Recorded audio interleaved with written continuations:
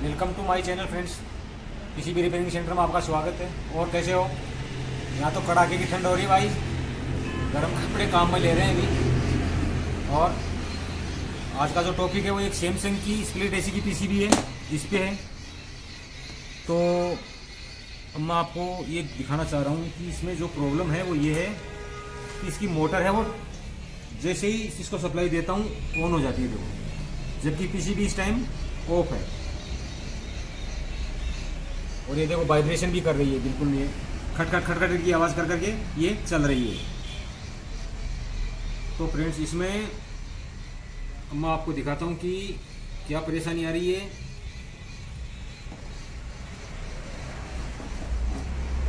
इसके अंदर ये ऑटो कपलर आता है, ये वाला। ये ऑटो कपलर है, ये जो ये इस टाइप का है, देखो। इस टाइप का ऑटो कपलर आता है और ये इसका जो कपलर है, वो शॉर्ट हो रहा है। ये मोटर बगैर स्टार्ट की चालू है। मैं स्टार्ट तो देखो, अब करके दिखाता हूँ इसको। ये ऑटो पे अब आई है। तो स्पीड तो इसकी अब चालू होनी चाहिए मोटर लेकिन ये डायरेक्ट चलती रहती है ये मोटर बंद नहीं हो रही है। तो अब प्रिंस इसका सोल्यूशन जो है मैं दिखा रहा हूँ आपको। कि पीसीबी को देखो बंद कर दिया और मैं वोल्टेज टेस्ट कराता हूँ आपको। मीटर देना चाहिए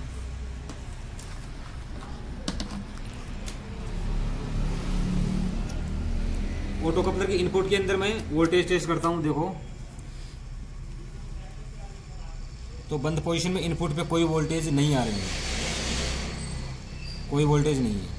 वोल्टेज नहीं आने के बावजूद भी ये कपलर ऑन हो रहा है। तो इसका मतलब ये ऑटो कपलर ही खराब है। तो अब मैं इसको चेंज करता हूँ और आपको दिखाता हूँ क्या है ये गला है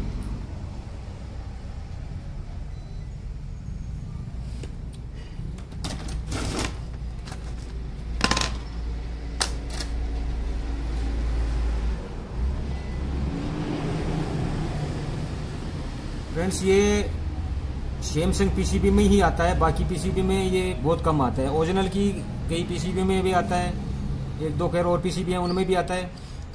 तो ये मार्केट में मिलता ही नहीं है ये। और मिलता भी अगर है तो बहुत महँगा मिलता है ये। हालाँकि मेरे पास तो कई पीसीबी से निकाले हुए पीस पड़े तो मैं इसको लगाऊँगा अभी और आपको प्रेस करके दिखा रहा हूँ। बाकी चीज़ें मिलती नहीं हैं बहुत मुश्किल हो जाता है।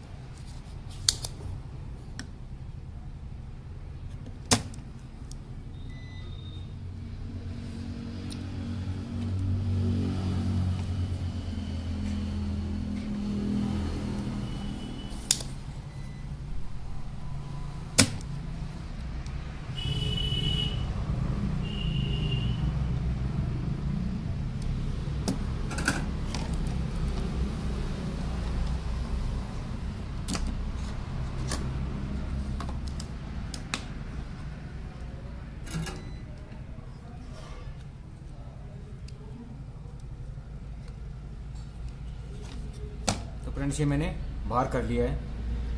और बाहर निकाल करके मैं इसको थोड़ा सा चेक करता हूँ, देखिए क्या प्रॉब्लम ये बता रहा है।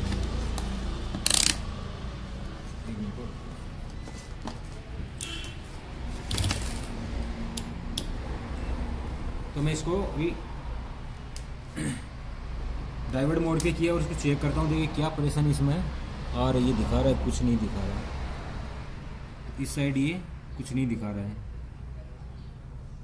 दूसरी साइड भी कुछ नहीं दिखा रहा है। एक मिनट में बजर पे लेता हूँ इसको कि क्या है देखिए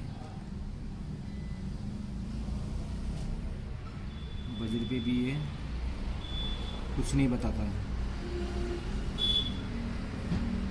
तो चलो फ्रेंड्स मैं अभी इसको बदलता हूँ। ये दूसरा मेरे पास पीस है सेम ये मैं इसमें डालता हूँ।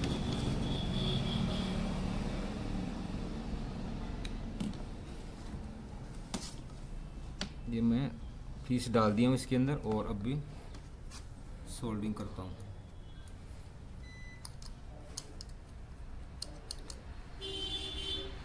तो ये भाई मेरे पास देखो सीखने के लिए आया है तो मैं इसको भी बता रहा हूँ। कुलदीप जी, अब समझ में आ जाएगा? मान लो फॉल्ट कोई भी आ गया, अब दोबारा कर लोगे ये सोल्व है ना? आराम से कर लोगे ना?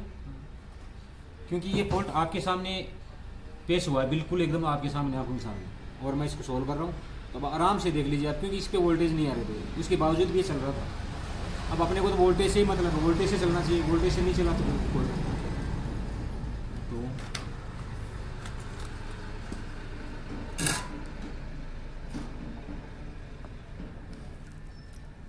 और दोस्तों, बीच में ये कहना चाहता हूँ मैं कि अगर आप चैनल पे नए आए तो सब्सक्राइब कर लें ताकि आपको आने वाला वीडियो का नोटिफिकेशन तुरंत मिल जाए।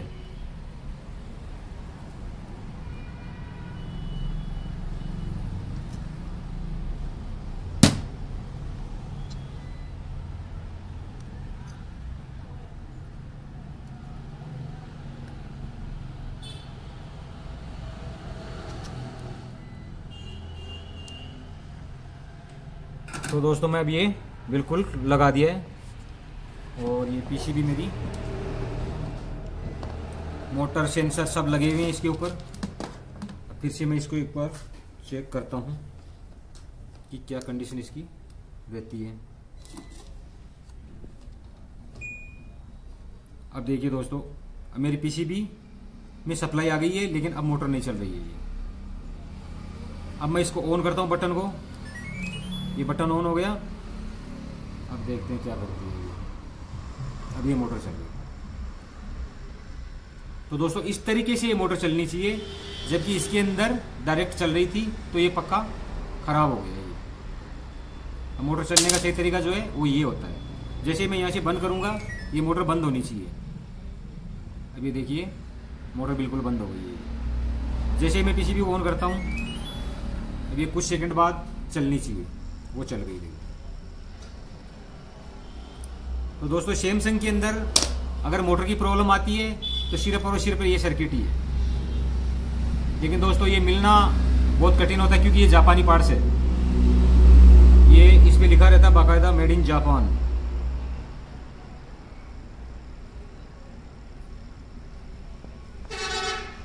तो पीस बहुत मिलना मुश्किल हो जाता है। और मेरे पास तो क्या ये रहते हैं तो इसलिए मैं डाल दिया हूँ और ये मेरा काम भी हो गया अभी।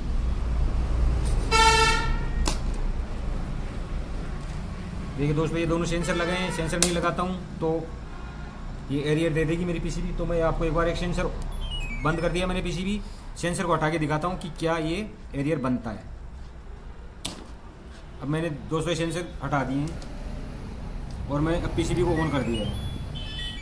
अब ई e वन आ गया देखो ई e वन तो ई e वन और ई टू अगर आता है तो ई वन ब्लैक सेंसर का होता है और ई टू जो है मेटल सेंसर का होता है। ये दोनों सेंसर के दो एरियर है। अभी मोटर का एरियर क्या बनता है, वो भी मैं आपको दिखाता हूँ। अभी मैंने ऑटो कर दिया, चल गई पीसीबी अभी मोटर चल गई ये मोटर चल गई। अब मोटर का क्या एरियर आता है, मैं मोटर को चालू में ही हटाता हूँ दोस्तों। ये मोटर का सेंसर हटा दिया मैंने। अब क्या एरियर बनता है इसमें? देखते हैं।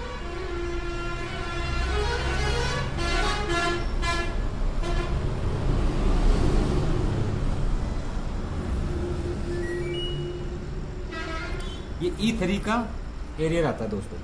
ई थ्री ई थ्री का जो एरियर है वो इस मोटर का है। अब देखिए ये मोटर बंद हो गई है। क्यों कुलदीप जी? समझ रहे हो ना? बिल्कुल। क्योंकि ई e थ्री का देखो E one black sensor E two metal sensor और ई थ्री मोटर का सेंसर अब इसको अपन जैसे कंप्लीट कर देंगे, ये आउटपुट पे सप्लाई आ जाएगी. तो मैं वापस इसको कंप्लीट कर रहा हूँ. ये मैंने कंप्लीट कर दिया है. मैं इसको एक बार ऑफ़ करता हूँ. ये ऑफ़ हो गई. ये ऑटो हो गया. ऑटो पे वापस स्टार्ट हो गई. अब ये वापस चल जाएगी. ये मोटर चल गई. अब देखते हैं कि ये अपने टाइम पे ये आउटपुट मेरे को दे रही है या नहीं दे रही है. तो फ्रेंड्स मैं भी आपको वोल्टेज टेस्ट कराता हूँ कि किस जगह कितने वोल्ट मेरे को मिल हैं। तो मैं इसको भी एसी मोड में लेता हूँ। ये एसी मोड आ गया। और अब मैं इस पर वोल्टेज चेक करता हूँ कि मेरी लाइन में वोल्टेज कितने मिल रहे हैं मेरे को। तो मेरी लाइन में 178 वोल्ट आ रहे हैं, सर जी। क्योंकि मैं इसको किसी और चीज़ से चला रहा हूँ, इसलिए वोल्टेज कम आ रहे हैं, लाइट से नहीं चला रहा हूँ मैं इसको इस टाइम अभी मेरे 178 वोल्ट यहाँ देखिए आ नहीं रहे हैं। आउटपुट में नहीं आ रहे हैं। तो मेरी, जैसे ही आउटपुट ही आएगी तो यहाँ मेरे को एक सौ अठहत्तर वोल्ट मिलने चाहिए। अभी मेरे को इनपुट में ही मिल रहे हैं, आउटपुट में नहीं मिल रहे देखिए, नहीं मिल रहे तो मैं इसको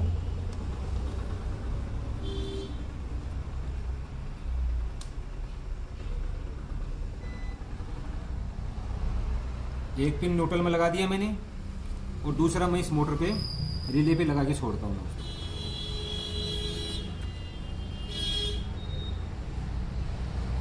क्या रुक नहीं रही? मैं हाथ से पकड़ लेता हूँ इसको।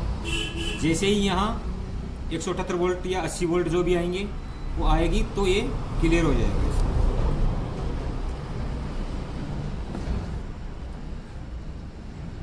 और फ्रेंड्स इसमें एक दिक्कत और भी आ सकती है, क्योंकि मैं इसका, मेरे पास रिमोट नहीं है। अब इसका टेम्परेचर का पता नहीं चल रहा, मेरे को टेम्परेचर क्या है।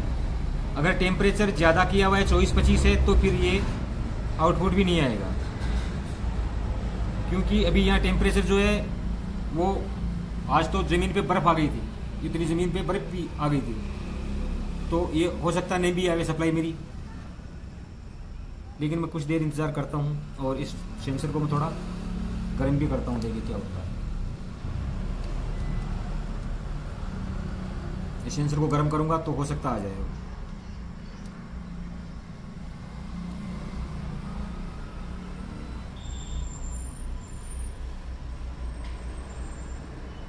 क्या है तीन मिनट दे लेती है दोस्तों तीन मिनट के बाद ही ये आउटपुट मिलता है।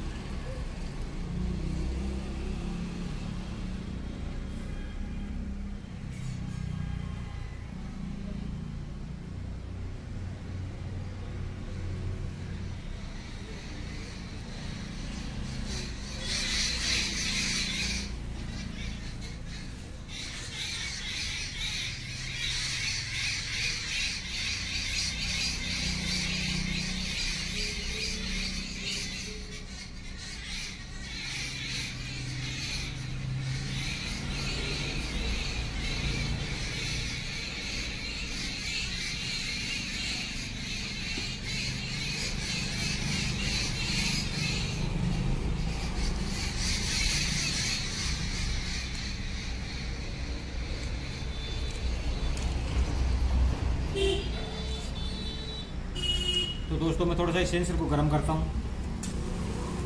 तिल्ली मैंने जला ली है।